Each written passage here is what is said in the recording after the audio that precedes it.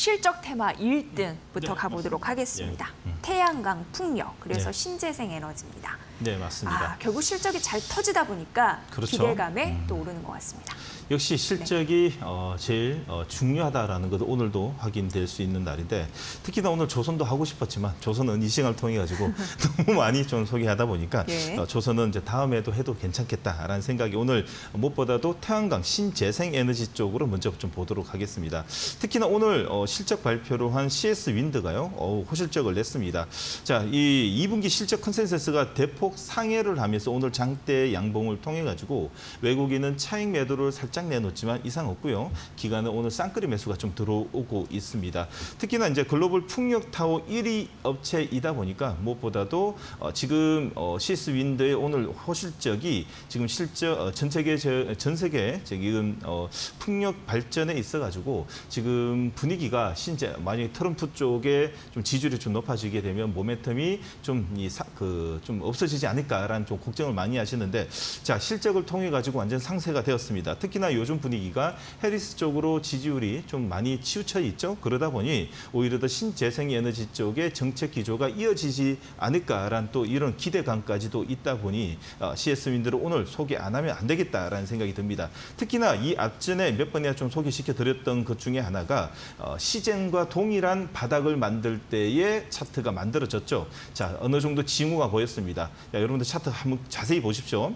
보시게 되면 양봉이 나올 땐 장대 양봉, 음봉이 나올 땐 단봉의 음봉에 자주 나오고 있습니다. 다시 말해서 지, 어, 하방 경직이 어, 나온다는 뜻이겠죠. 하방에 눌리게 되면 추세를 돌리기 위해서 장대 양봉 그리고 단봉은 사지 않기 때문에 어느 정도의 이 음봉도 이동 평균을 수렴하다가 자 음, 어, 월요일장 이 깊은 음봉은 뭐 시장 영향상 어쩔 수 없었고요. 자 이틀 이틀 동안에 회복력이 빠르고 그리고 오늘 장대 양봉을 낸 걸 보게 되면 어느 정도 시장에선 예측이 어느 정도 한 것으로 좀 판단이 됩니다. 자 그래서 여러분들은 오늘 자 CS Wind 같은 경우에는 종가뿐만 아니라 이제 분할로 어, 진입해도 괜찮은 자리입니다. 단 여러분들이 지금 신재생 에너지 쪽 같은 경우에는 트럼프하고 해리스 쪽에 그 해리스 쪽의 지지율에 따라 가지고 조금 이제 변동성도 있을 수 있으니까요. 아직까지는 트레이딩 관점으로 보자라는 의견을 좀 드리고 싶고요. 자 두 번째로 여러분들이 보셔야 되는 것은 HD 어, HD 현대 에너지 솔루션 을좀 어, 이 하방에 누워 있지만 좀 관심을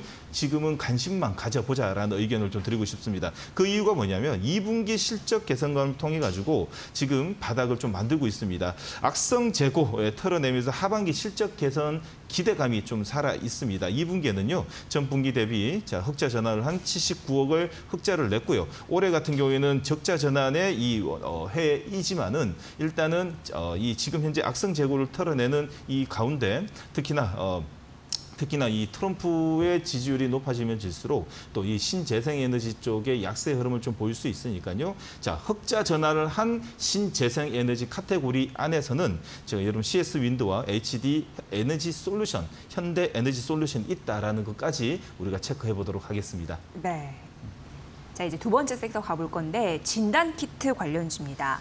장기 테마 쪽에 1등을 차지하고 있습니다. 어, 장기 테마 쪽으로 이제 올라왔어요. 네, 맞습니다. 예. 진 매트릭스 녹십자 MS가 상한가에 갔습니다. 네, PCL, 맞아요. 휴마시스, 시젠 역시 급등하는 흐름들이 나타나고 있습니다. 네. 자, 진단 키트 관련주 그러나 예. 지속적으로 오를 순 없겠죠. 네, 어디가 맞습니다. 끝일지 이거 아, 계산해야 또 됩니다. 이 시간을 통해 가지고 한 네 번 소개하다 보니까 네. 여러분들 돌아가면서 종목들을 다 소개하다 보니까 또 오늘은 또 고르고 골라 가지고 여러분들에게 진단 키트뿐만 아니라 양수 겸장으로 볼 수 있는 모멘텀의 종목을 좀 하나 들고 왔습니다. 네. 자, 바이오니아인데요. 자, 여러분들 자, 바이오니아 같은 경우에는 여러분들 아시다시피 특히나 이 유전자 유전자 연구에 필요한 원료 어, 물질을 생산하는 합성 추출 증폭에 있는 장비와 키트까지도 자체 개발하는 회사로 인해 가지고 과거에 이 코로나 아, 시기 때에 큰 폭의 영업이익을 거뒀습니다.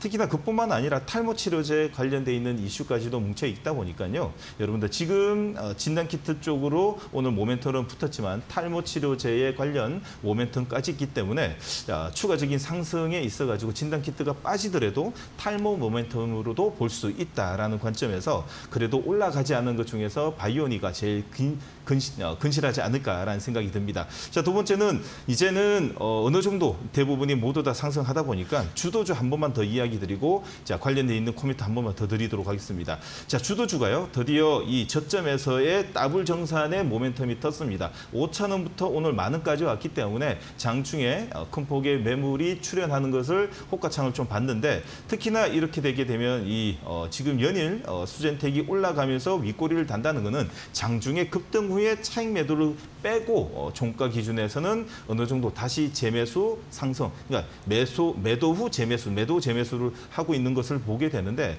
특히나 수젠텍의 이 더블 정산을 통해 가지고 오늘의 대부분의 종목들이 오늘 상승은 하지만 이제는 조금 이제 완전한 이제 이 장중 트레이딩, 이 장중 지금도 트레이딩으로 보고는 있지만 보고 있지만 이제는 어, 접근은 이제 아주 소량으로 장중에 좀 하면 어떨까라는 생각이 듭니다. 자 그러나 주도주는 알아야 됩니다. 현재 우리나라의 어, 지금 진단키트 쪽의 주도주는 수젠텍이라는 것까지만 알고 우리가 어, 다른 종목들 바닥에 서 움직이는 어, 제약바이오 쪽으로 이제는 좀 관심 가져보자라는 의견 드리도록 하겠습니다. 네, 진단 키트 이 테마주 성격이 있기 때문에 잘 또 옥석가리 해보시면 될 것 같고요.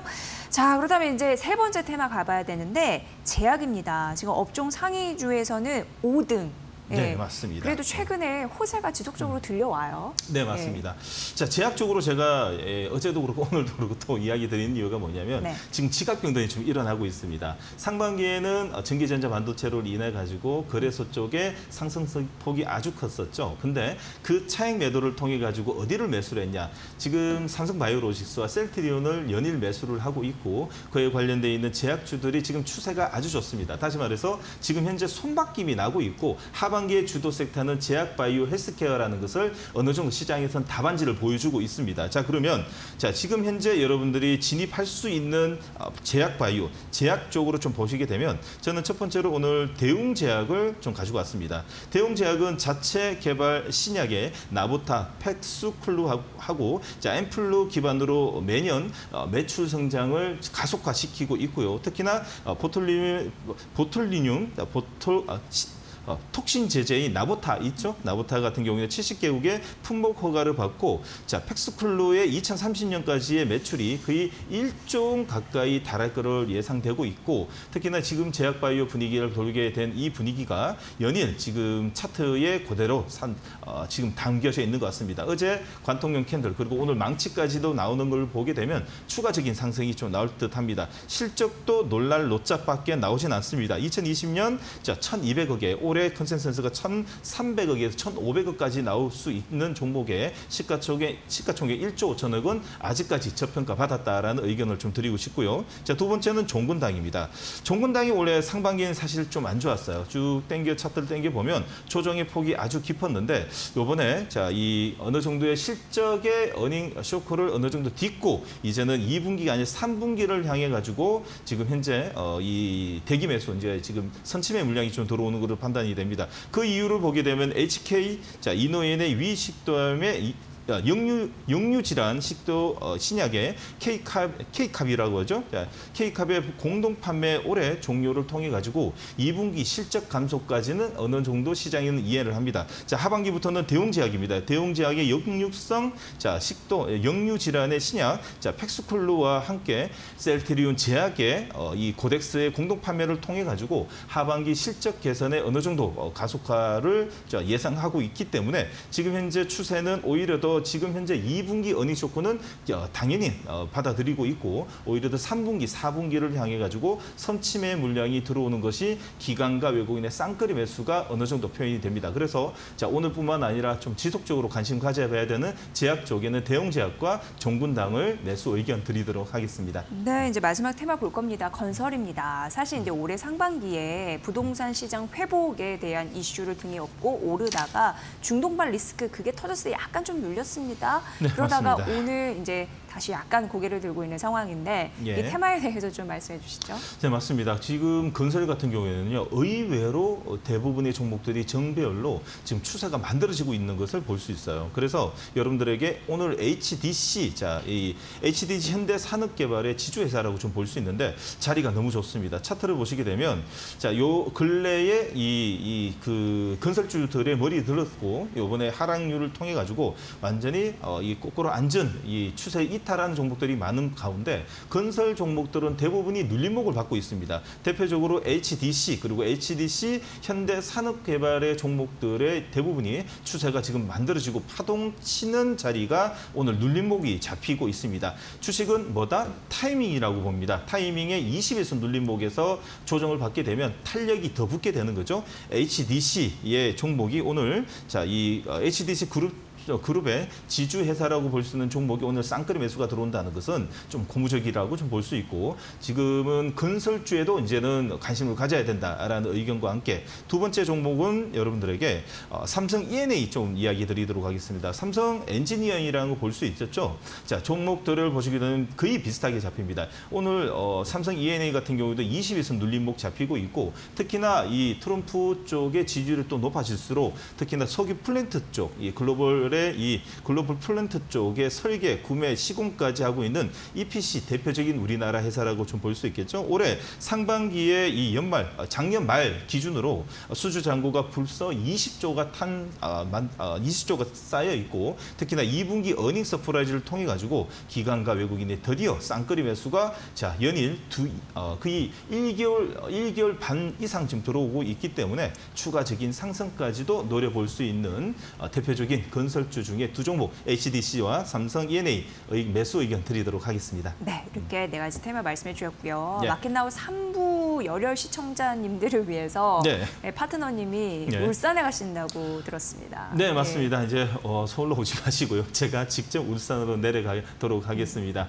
자, 울산을 선택한 이유는요. 예, 예, 대구, 부산뿐만 아니라 울산, 어, 포항까지 경남북의 이 교통 중심이라 가지고 울산을 좀 잡았고요. 울산역 앞에 있는 컨벤션 센터 앞에서요. 8월 10일 내일 모레입니다. 어, 이 3시부터 5시까지 여러분들과 함께 주요 종목, 주도주 종목을 공개해 드리도록 하겠습니다. 네, 참고해 보십시오. 자, 본 프로그램은 투자 판단에 도움이 되는 정보를 드리고 있습니다. 다만 투자 결정에 대한 책임은 시청자 여러분의 몫이라는 거 다시 한번 강조해 드릴게요.